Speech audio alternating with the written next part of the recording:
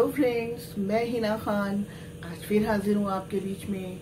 उम्मीद करती हूँ कि आप सब लोग बहुत अच्छे होंगे और मेरी दुआ भी है कि आप सब लोग अच्छे रहें तो फ्रेंड्स, गर्मियाँ आ गई हैं और मैंने सोचा अब मैं आपको होममेड कुल्फ़ी बनाना बताऊँ, जो बहुत जल्दी और बहुत टेस्टी बनती है।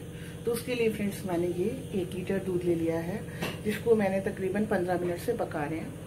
और उसमें मैंने थोड़ी सी ये सेफ्रॉन की पत्तियाँ डाल दी थी और थोड़ी मैं और डाल रही हूँ। इससे मेरी कुल्फ़ी में इस बहुत अच्छी खुशबू भी आती है और इसके कलर में भी फ़र्क आता है। आगे का प्रोसेस मैं आपको बताती हूँ। हाँ तो फ्रेंड्स देखिए कि मेरा दूध अच्छा खासा गाढ़ा हो चुका है और इसका कलर भी चेंज हो चुका है। ये देखिए।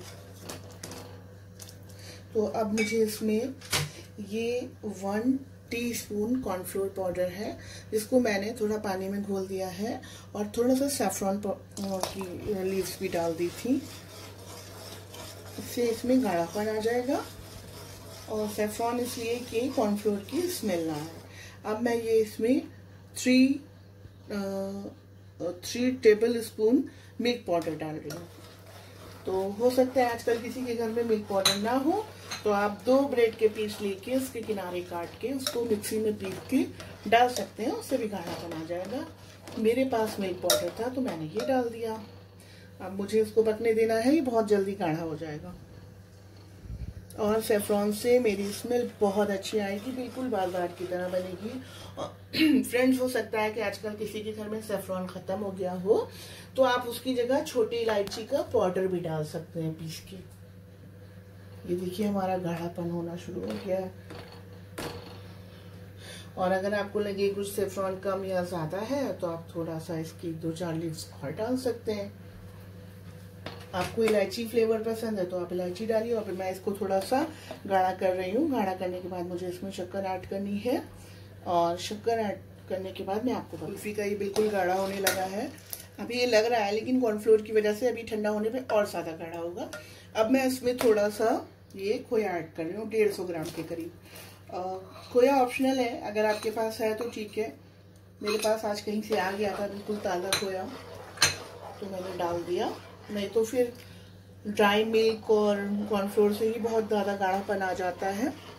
और खोया आ गया है तो डाल दीजिए, एक अलग सा फ्लेवर आ जाता है, बहुत ही टेस्टी सा। तो बस थोड़ी देर रह गई है। अभी एक मैं जमा दूँगी, अभी आपको दिखाती हूँ। अब ये मैं इसमें हाफ़ कप शुगर ऐड कर रही हूँ, हल्की मीठी। आप जिस हिसाब से मीठा खाते हैं, आप उस हिसाब से मीठा रखिए। इसको मैंने ऑलमोस्ट दस मिनट सिम पे पकाया था। देखिए कितना अच्छा टेक्सचर बन के तैयार हुआ है मेरा। और बहुत ही, बहुत टेस्टी बन के तैयार होगी आइस कुल्फ़ी आपकी। बस इसको अब मुझे रूम टेम्परेचर पे लाना है। ऐसे चाहिए तो जल्दी जल्दी घुमा लीजिए, थोड़ा ठंडी हो जाएगी। ऐसे तो मैं इसको फ्रीज़र में नहीं रख सकती हूँ। तो अभी मैं इसको छोटे बर्तन में डाल के आपको दिखाऊँगी। पहले मैं इसको अभी पंखे के नीचे रख देती हूँ। थोड़ा सा ये ठंडा हो जाए।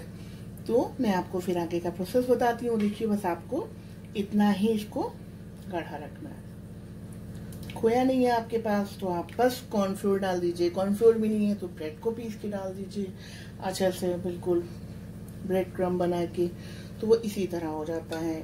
और छोटी इलायची तो सबके पास होती है। छोटी इलायची का फ्लेवर दे दीजिएगा। अगर आपके पास सेफ्रॉन नहीं है तो। तो मैं अभी आपको आगे का प्रोसेस जैसा कि आप देख सकते हैं, देखिए मेरा ये जो मैंने कुल्फ़ी के लिए मिक्सचर बनाया था, कितना अच्छा ये रूम टेम्परेचर पे गाढ़ा हो गया है। इसको मैंने ये बच्चों के हिसाब से ये इसमें भर लिया है। और अब मैं आपको दिखाती हूँ इस तरीके से लेके। अगर आपके घर में बच्चे हैं तो उनके लिए इस तरह से बना के रख दीजिए। खुश हो जाते हैं वो। बाद में थोड़ा सा जब ये जम जाए तो इसमें एक स्टिक लगा देते हैं। और अब मैं ये इस टाइप का एक डिब्बा है मेरा ये एप्रिकॉट का। आपके पास कोई भी हो स्टील का भी हो, इतना बड़ा या इससे थोड़ा बड़ा, बस ये रोल टाइप का तो आप इसमें भर दीजिए इस तरह से पॉलिथीन लगा के। क्योंकि पॉलिथीन में जब ये जम के निकलेगा तो इसको निकालने में आसानी रहेगी, पूरा रोल बन के निकल आएगा। ये देखिए, इस तरह। ये मैंने पूरा इसको ऐसे भर लिया है। मेरा ये बिल्कुल ठंडा हो चुका है और चार मैंने ये भरे हैं। ऐसे फिल कर लिए हैं। अब मैं इसको फ्रीज करूँगी। जो थोड़ा सा मेरा बचा है, इसको मैं टाइप से इसमें डाले दे रही हूँ।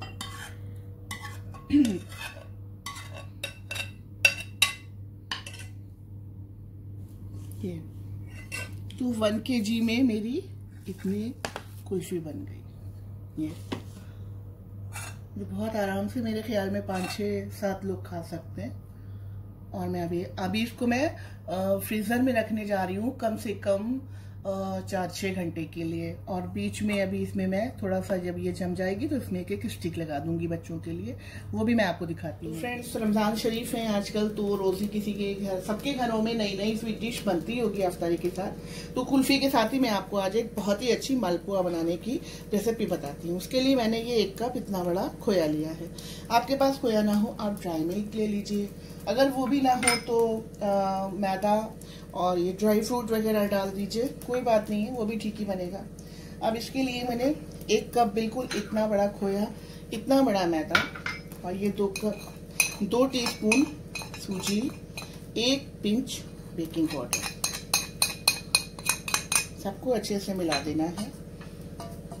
और ये गरम दूध से अब मुझे इसको मिक्स करना है। फ्रेंड्स आजकल खोया तो मिल नहीं रहा है सबके घरों में तो ज़रूरी नहीं है कि आप खोया डालें और ड्राई मिल्क भी डाल सकते हैं।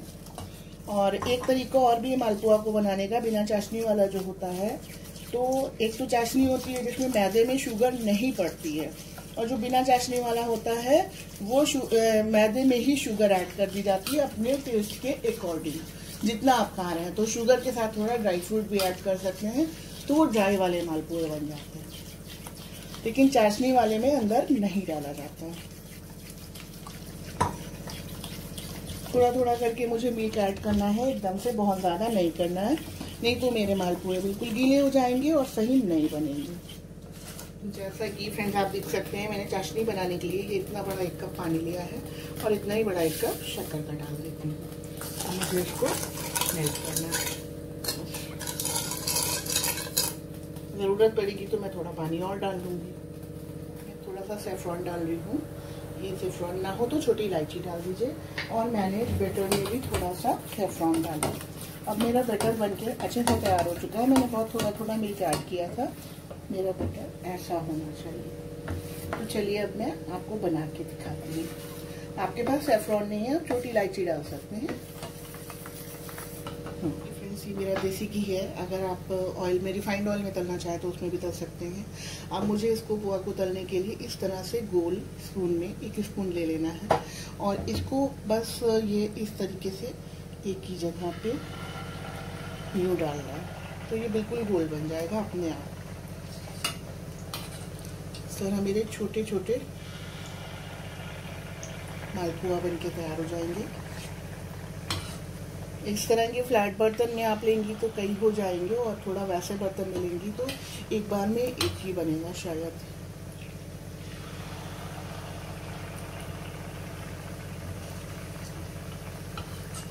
तो फ्रेंड्स मालपुआ बनाने के तीन टेस्ट आते हैं। वैसे तो आपने देखा होगा गुजिया भी मैदे और खोए की ही बनती है।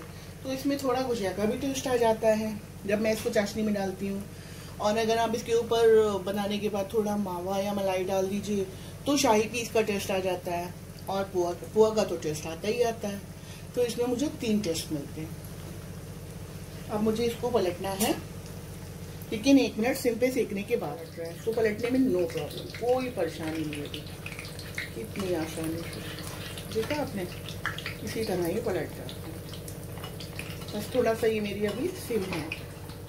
सिम पे फ्राई कर रही हूँ मैं ये देखिए सिम पे ही अंदर तक हो जाएँगे बहुत ज़्यादा नहीं एक मिनट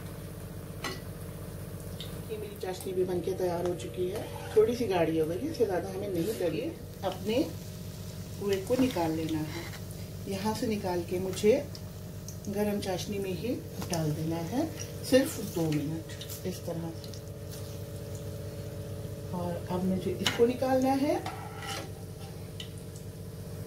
साथ में इसको भी निकाल लेना है, दोनों को।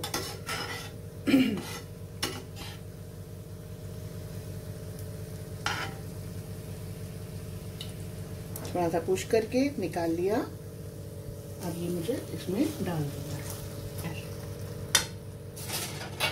ये थोड़ा सा मुझे ऐसे कर देना है ताकि चाशनी इसके अंदर मैंने बहुत बड़ा साइज़ नहीं बनाया है छोटा ही बनाया है, ताकि कोई एक के बजाय दो भी खा ले प्रॉब्लम नहीं है। और ये आप बना के देखिएगा।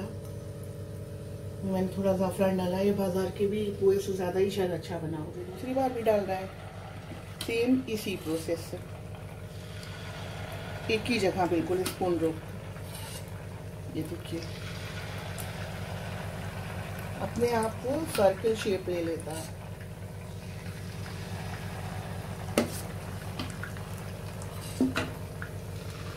क्योंकि मैंने इसको सेफ्रॉन का फ्लेवर दिया है तो ये थोड़ा सा राजस्थानी का टेस्ट आ जाता है। हम्म, दो मिनट हो गए अब मैं इसको निकाल ले रही हूँ।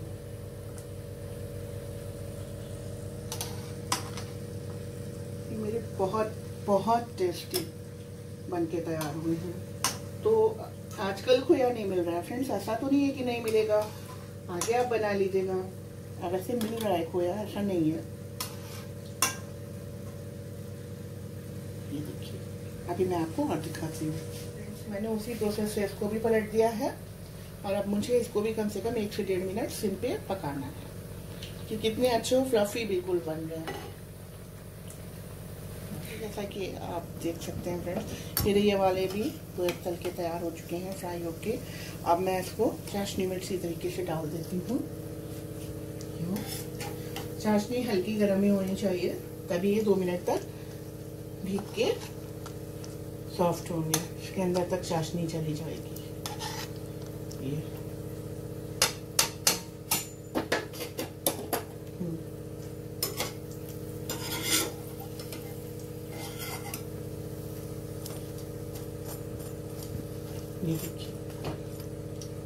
फ्रेंड्स देखिए, मेरे मालपुआ बनके बिल्कुल तैयार हो चुके हैं। कितने अच्छे। और थोड़ी देर में चलिए अब मैं इसको गार्निश कर लेती हूँ थोड़ा सा फ्रेंड्स देखिए, अगर मैं इसमें टू पीस में इस तरीके से मलाई लगा देती हूँ तो भी ये मुझे शाही पीस का ही टेस्ट देगा। अभी मैंने एक पीस में लगाई है। थोड़ा सा गार्निश कर दीजिए, शाही पीस का टेस्ट आ जाएगा। इस तरीके से। ये। और अगर मैं इसके ऊपर इस तरह से मावा डालती चली जाती हूँ तो भी शाही पीस का टेस्ट आएगा और पुए का तो टेस्ट मालपुए का तो टेस्ट आ ही रहा है। इसमें दोनों ही टेस्ट आते हैं क्योंकि शाही पीस भी मैदे और खोए का ही बनता है। और मालपुआ जो है, वो वैसे अगर आप सिर्फ़ मैदे में शक्कर डाल के बनाए तो वो एक तरीके से और भी बनता है। उसी में शक्कर डाल के ड्राई वाला बनता है। तो ये हो गई मेरी गार्निशिंग। इसी तरीके से आप मलाई और में डालना चाहें तो और में भी डाल सकते हैं, ये देखिए। कितना अच्छा मेरा होममेड मालपुआ बनके तैयार हुआ है।